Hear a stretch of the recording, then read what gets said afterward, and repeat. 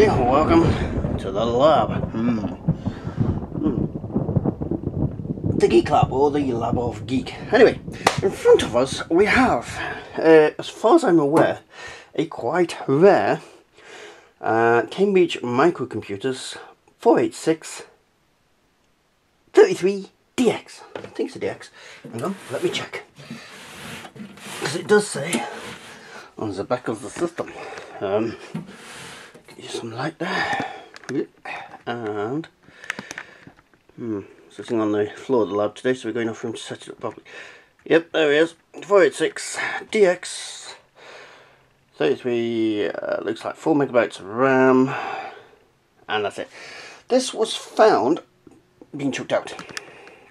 And this, uh, oh, a short while ago, was a working computer. I know because I'd seen it working. But now it appears it is not. Now, I do know some issues that are present in it, but let me take you through the steps I went through. I was initially going to uh, strip it down and do it the proper way and check it, but I couldn't be bothered to do that. Well, I wanted to do a quick check to see if it actually worked. So uh, let me put a power lead in the back and I shall show you the results I got. Right, I have now inserted a power lead up its bottom. And those of you who are on my Facebook group have seen this initially and know that it looked a lot worse than it does now because uh, it was covered in X's. So I've managed to get off even though they were permanent mark. I'm impressed with myself, although my hands need cleaning because they're stickery as stickery. There is an actual X left there, but I'm saving that one because this is better. Now I'm saving that one to uh, do a quick tutorial now to get them off sometime. Not today. Uh, so, uh, let's power this up, see what it does. No keyboard, no mouse attached, no monitor. Just, just a plain boot up. And as you can hear, we can hear the PSU start up, we can see the display running at the front. It's doing something. What is that?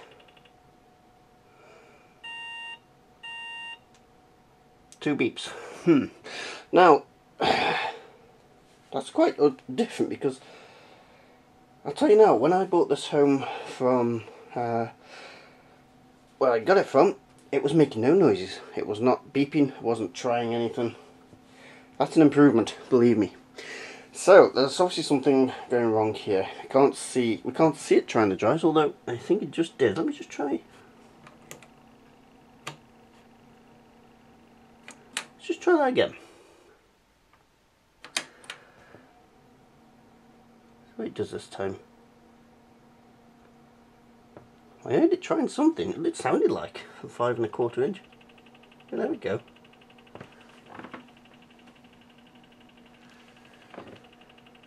I think that's the speaker just clicking away. wonder if you're trying for a keyboard. But we had no beeping sounds last time. We do have beeping sounds this time, which is bloody brilliant. So, what I'm going to do, uh, we'll have a quick look inside first, and then I'm going to hook her up to the monitor, give her a keyboard and mouse. Well, give her a keyboard because I haven't got a mouse for this. It's a serial mouse. And uh, see what she does. Right, I have her top off. Hey, first impressions. This is very, very clean inside. Second impressions. The hard drive's been nicked. Yep, she has no hard drive. So, let's have a quick look around inside. You'll probably know more than me, but I'll show you anyway. Get the camera off, and alright then. Okay. So, as you can see, this system is exceptionally clear. I don't know why it's got B10 on there, but it is exceptionally clean. Uh, there's hardly a speck of dust in the entire thing, and as you can see, working April 1998. Not sure if this is the original uh, PSU, but it is a PSU, and you can see the drives there. Uh, three and a quarter. Uh, it does have a full bank of memory there. Hmm. So, what it is left to do, stick into a monitor and uh, give a keyboard, see what we get. I know it's not going to read from its drive, uh, but it might work off a Windows boot disk for now. I have a floppy drive in the Nimbus there that might work if I stick her in, well, if I wire in. See what happens. We'll be back. Right, uh, about half an hour later, and uh, gonna have to pause the creation of this video because, uh, yes, I, I reset it a couple of times just to get information up on the screen, and uh, it stopped working again. Uh, these drives do power on, I've just got them unplugged at the moment to make sure it's not nothing to do with that, but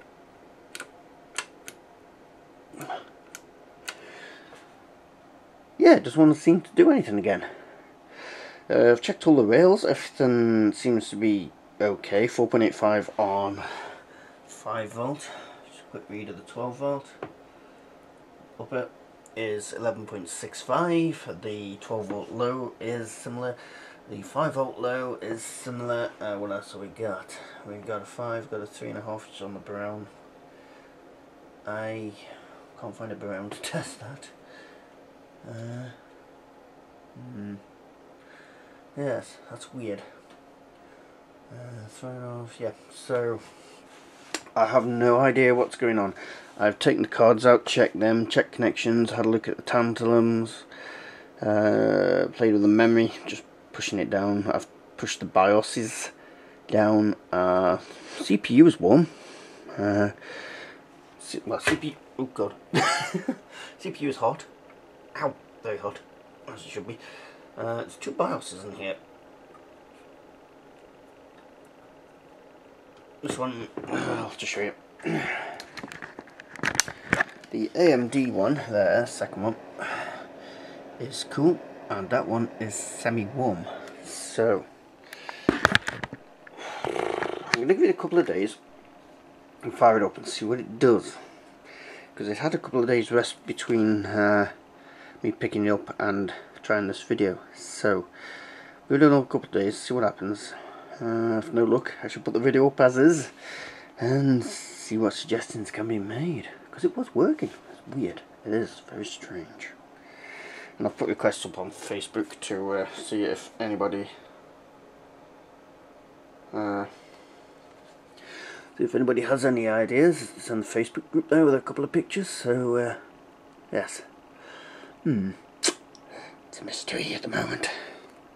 Oh well, we'll be back. Right. It is a few days later, and, uh, well, I'm going to let you into a little secret here, because it's not actually a few days later. It's a few nights later. Um, current time, 3.08 in the morning, 2nd of December. Yes, can't sleep, so, yeah. What else is there to do? Uh, pardon me apart from work on 486s at 10 past 3 in the morning. So, uh, I've just powered it up again to see if we got any life. There is no signal coming from there. So, uh, over the last few days I've had some suggestions on the forum and it could be an intermittent short from under the board which is wouldn't be the first time this has happened. Uh, could be one of the cards playing up, could be the one of the chips buried here. So what we're going to do is take it apart. Take it back to a bare bones system, check everything underneath, and then plug little bits back in and see if we can't get it to fire up that way. First thing we have to do, switch the bugger back off and take the mains out. Good idea. And take the video out. Right, so, yes, we are going to take out the motherboard. Looks like uh, to do such a thing, this drive's got to come out, which isn't a biggie, but uh, let me do, see, do some time lapse of this event. Yes, okie dokie, we'll get that done. Here we go. What better things to do with 10 past 3 in the morning?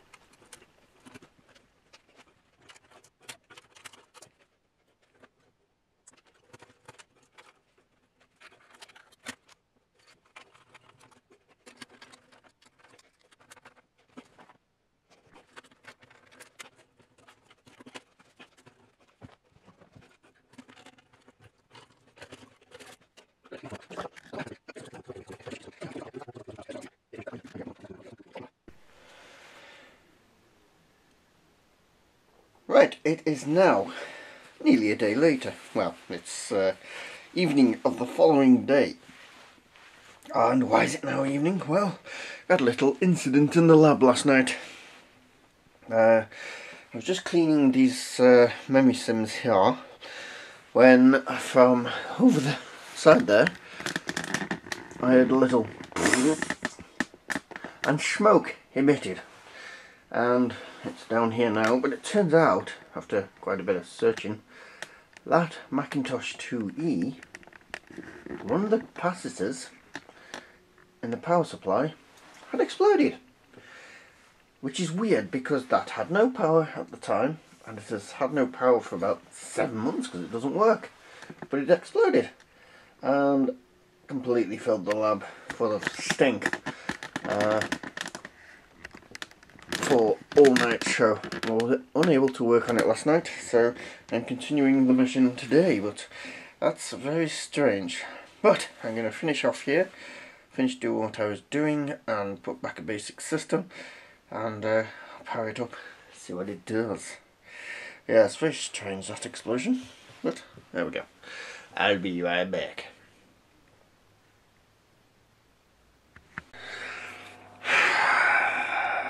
Hmm. Strange one, this one. Um, yeah, had it apart, put it back together. Uh, had the cards in different places. I put the video card there once without the disc controller in, and I got the ticking away. Didn't come on the screen, but ticking away. Then the very next reboot, nothing. Uh, so put that card back there. Put that card in. Uh, nothing. Some intermittent fault somewhere. He's a bastard. Uh, I haven't got all the memory in yet, but uh, at least I know it likes counting that memory. Uh, hmm. Yes, it does read the keyword, then tries that. Hello, Fluffy. I bring tea. Tea. Show tea. Um, it's got a computer bit of it. Isn't that spelled right? T. There we go. So, yes, this one's a mystery. I know it works. I know there's life there, but I can't quite get it. What's causing it? It's that. Why is, thank you. Why is it being a bastard? Uh, what's this? Oh yeah, that's, that's true. they only do as their human makers tell them. Yeah, that's how it powers. Uh, I wonder if that's got anything to do with it. Hmm. Nah, because I go straight to the pan. Yeah, give lovely. Mm. Yeah, that goes to the power switch. By the looks of it. Oh no, not. No, it doesn't. It must go to the reset. Yeah, it must go to the reset panel. Um, I have had it plugged in without the reset button plugged in, which is down there, and that's when it tick tick tick tick tick, but no tick tick tick tick tick tick tick now. A bugger! I get this thing going. Would be good. Uh, battery's still in one piece as well. Ay, ay, ay, ay, ay. What to do, what to do, what to do.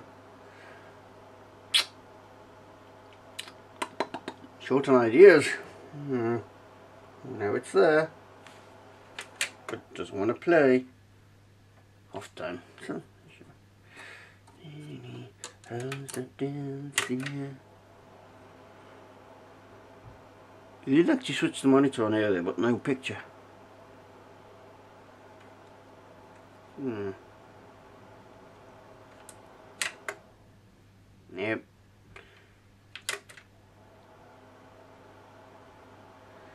And I do know that the BIOS is kicking in because when we took out, uh, left just two banks of memory in there, the BIOS was complaining. Three beeps meaning the 64K was knacked.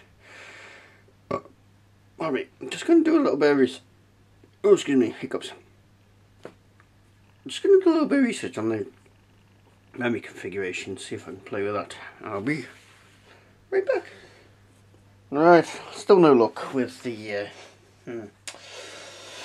I've put all the memory back in, uh, still no change, but we, I can show you the BIOS is working because if I take out the video card and then power on, we get? Two short beeps. Three, four, five, six, seven, eight. System video adapter is either missing or its memory is faulty. Yeah, so the BIOS is running. I don't know why it's faulty, because it's uh, in my hands. Right, let's uh, put this back in. Now when I put it over here, uh, not a particular one, but this area, I did actually get a counting memory earlier, so just going to try that just for the hell of it. Why not? Can't do any more harm. So it does.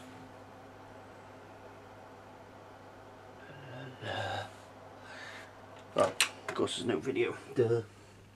Not plugged in. Hang on.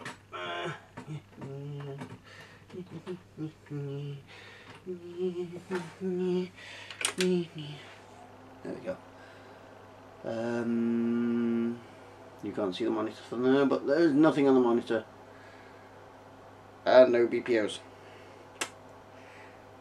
This is frustrating.